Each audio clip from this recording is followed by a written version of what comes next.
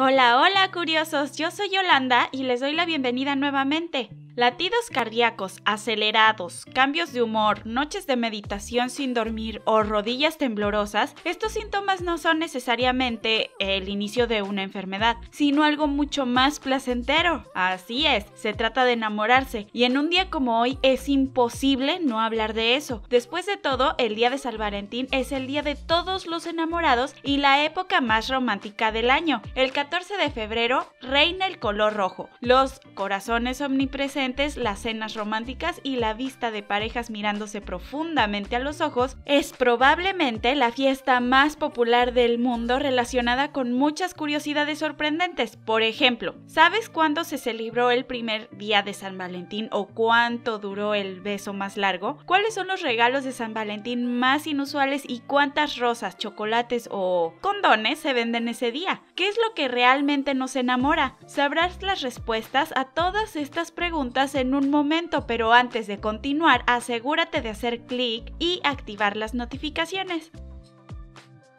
A veces solo se necesitan 4 minutos para enamorarse. Esto fue probado por un psicólogo de Nueva York en 1997 sobre la base de un experimento realizado con un par de personas que no se conocían entre sí. Posteriormente, esto solo fue confirmado por otros investigadores. Según los expertos, justo después de 240 segundos de conversación, podemos perder la cabeza con la persona e incluso construir un vínculo que se puede basar en una relación. Sin embargo, embargo, vale la pena recordar que este episodio tan corto de tiempo, tanto el lenguaje corporal, el tono y la velocidad de la voz son mucho más importantes de lo que se cree. También se ha demostrado que puedes enamorarte con solo mirar a los ojos, porque entonces nuestro cuerpo produce una sustancia química con un nombre bastante complicado de feniletilamina, que comúnmente se conoce como la droga del amor. En cuanto aparece en el horizonte,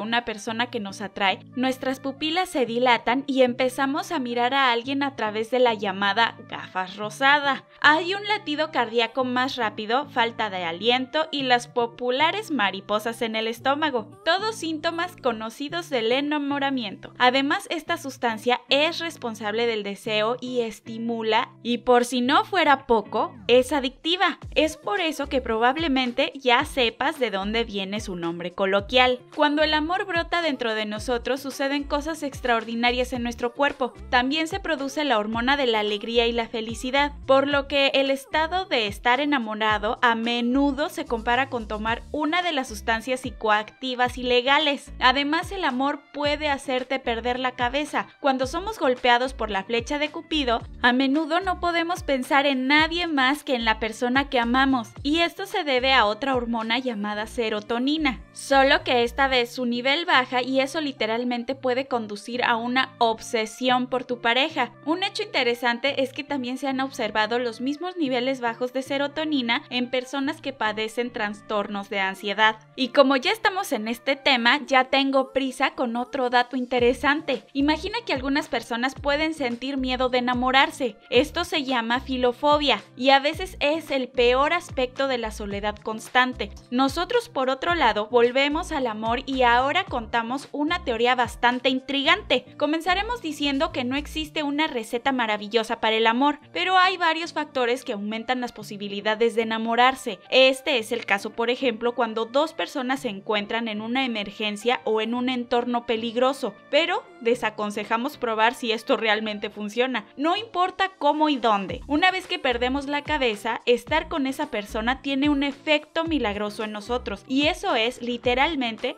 lo que tenemos algunos ejemplos. Sostener la mano de un ser querido puede aliviar el estrés y solo mirar una foto de él o de ella puede aliviar el dolor. Abrazar funciona de manera similar porque libera oxitocina, que según los estudios reduce significativamente el dolor de cabeza e incluso lo elimina por completo después de aproximadamente 4 horas. Continuando, mientras los amantes se miran a los ojos, sus corazones laten al mismo ritmo. Para probar esto se llevó a cabo un experimento en el que las parejas enamoradas se plantaron una frente a la otra. Después de un tiempo se sometieron a un electrocardiograma y después de comparar los resultados se indicó claramente que unos 3 minutos serían suficientes para sincronizar su ritmo cardíaco. No creo que nadie deba de estar convencido de los positivos que son los besos también, pues pueden relajarse y mejorar su estado de ánimo. Además, aumentan nuestra inmunidad e incluso protegen contra la depresión. Los científicos coinciden que los besos frecuentes y regulares pueden prolongar nuestra vida hasta 5 años. Además, cada minuto de esta actividad placentera se quema alrededor de 26 calorías y los poseedores del récord del beso más largo de la historia quemaron hasta 7436 porque se besaron durante exactamente 30 horas 59 minutos y 21 segundos. De todos modos, también se batió el récord en la categoría de mayor número de personas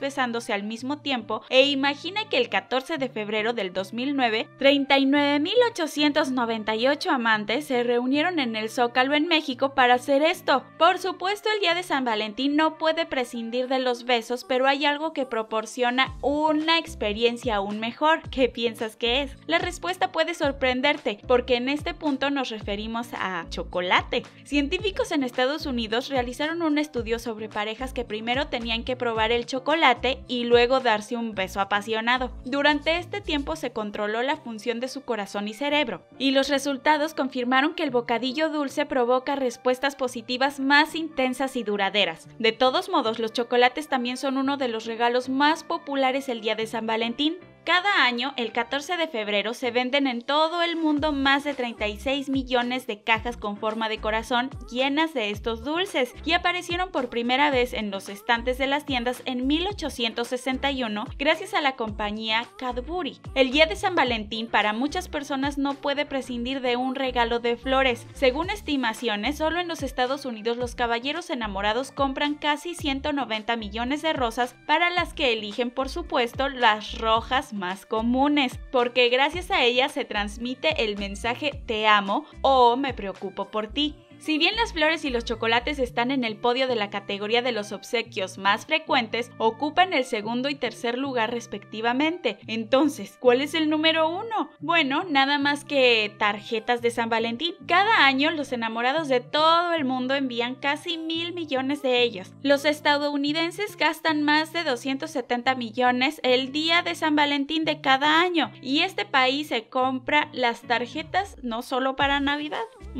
¿Qué otras curiosidades conocemos sobre ellos? Bueno, la primera tarjeta de San Valentín probablemente se escribió en uno de los lugares menos románticos inimaginables. Era una prisión en la Torre de Londres, desde la cual en 1415 el duque de Carlos Orleans envió una carta a su amor, a su esposa, para decirle cuánto la amaba. El San Valentín más asombroso fue creado por el multimillonario Aristóteles Onassis, quien también fue el más caro de la historia. Está hecho de oro macizo decorado con un corazón de diamantes y zafiros envueltos en piel de visión. Este regalo, valorado en 300 mil dólares, estaba destinado a la cantante de ópera griega María Callas. Y cuando se trata del San Valentín más grande del mundo, fue creado en la ciudad de China de Chengdu y curiosamente estaba dirigido a 14 millones de habitantes de esa metrópolis. El día de San Valentín significa grandes ganancias para muchas empresas, pero no solo para las que venden flores, chocolate o cualquier cosa en forma de corazón. Además, Durex, el famoso fabricante de condones, estimó que sus ventas el 14 de febrero aumentan hasta en un 30%. Al principio también mencionamos los regalos más inusuales que se presentan tradicionalmente el día de San Valentín. Por ejemplo, en Francia es un estándar dar cupones de lotería a un ser querido, lo que en nuestra opinión no es una mala idea. Pero además de eso, muy a menudo un regalo también es un tomate. Los franceses lo llaman pomme d'amour, que significa manzana del amor, y según ellos simboliza el corazón. También vale la pena mencionar la costumbre en Japón, porque el regalo de San Valentín es el chocolate blanco. Además, solo los hombres tienen el don del 14 de febrero, pero no creas que las mujeres han sido olvidadas. Ellos a su vez recibirán un dulce regalo un mes después, cuando en el país del sol naciente el llamado celebración del Día Blanco. En los Países Bajos, aunque no hay regalos originales, existe la tradición de que el día de San Valentín las mujeres pueden hacer una propuesta de boda a un hombre elegido. Si se niega este hombre, debe de regalarle un vestido de seda. No creo que sorprenda a nadie que el 14 de febrero sea uno de los días más populares cuando se hace la pregunta ¿te casarías conmigo? Después de todo es una celebración del amor y el romance, y según las estadísticas, incluso varios millones de personas en todo el mundo caen de rodillas. Pero no es tan romántico en todas partes. En Arabia Saudita, las celebraciones del Día de San Valentín están estrictamente prohibidas y las violaciones de esta prohibición pueden resultar en multas elevadas. En